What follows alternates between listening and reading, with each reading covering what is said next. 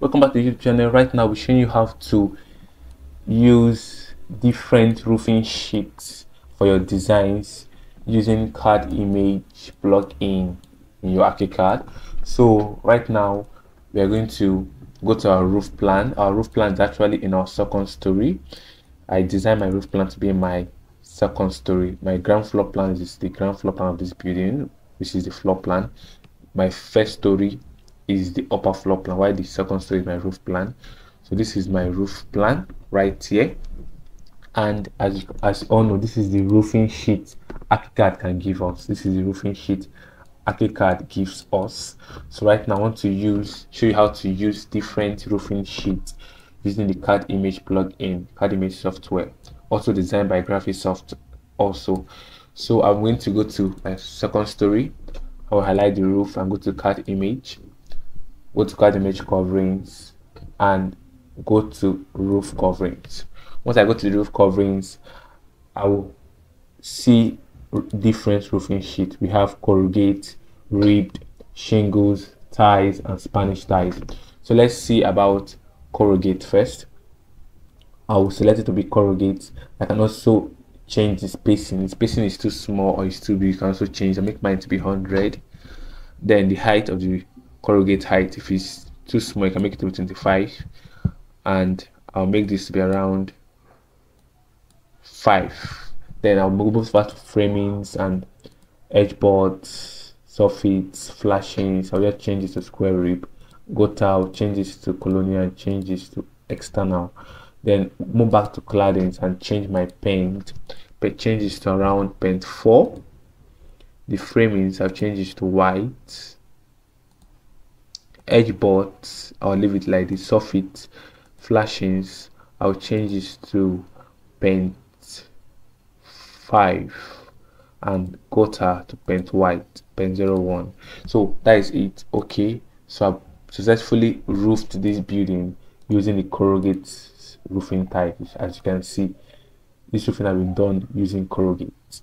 And you can see it's looking really really realistic. Once you open this in a rendering software like Artlantis lumion twinmotion Enscape, 5d and a lot of them it will come out more beautiful than this. So let's use another roofing ties so let's go back to the second story control z and let's change this to Cadimage coverings.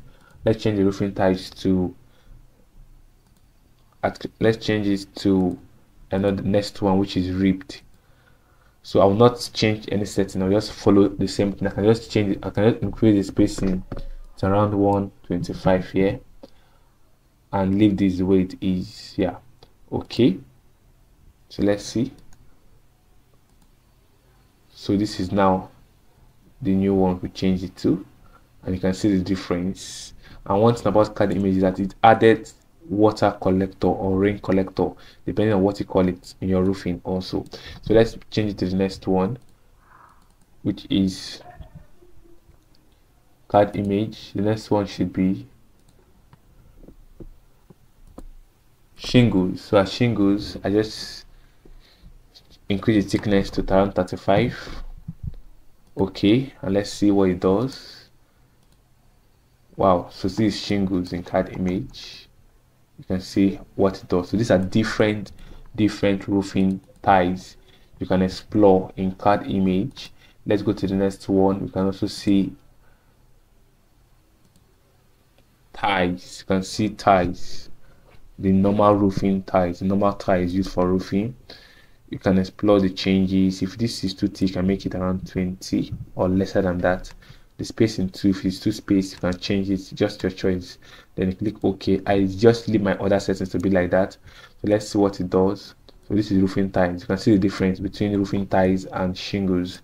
So roofing ties is more like how. So this thing will come out perfectly more clearer and more beautiful realistic when we export this to rendering softwares.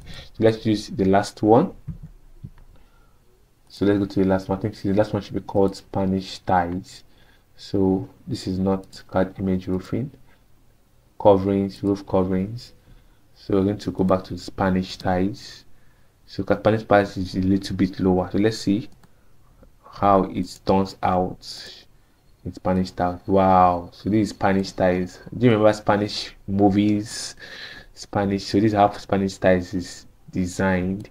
So I believe you learned something. Kindly like, share, subscribe to the YouTube channel. Thank you.